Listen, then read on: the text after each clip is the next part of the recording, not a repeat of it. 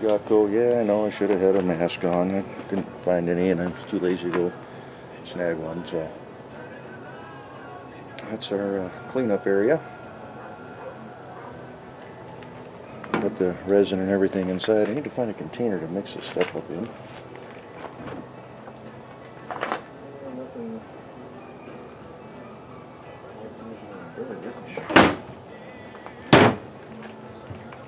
Need a disposable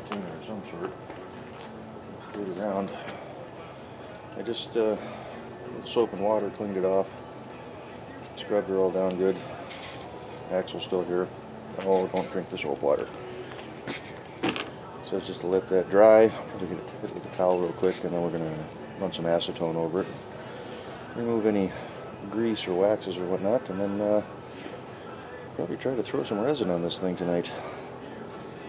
I could probably use the bottom of a soda can. That would probably work. As I'm looking at my Sprite can there, I just oh, got a couple soda cans in here after. There we go.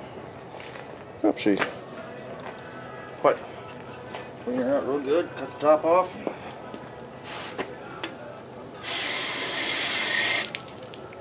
Should work just fine.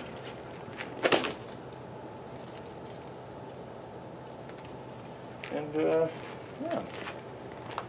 Let's get something to slice this open with.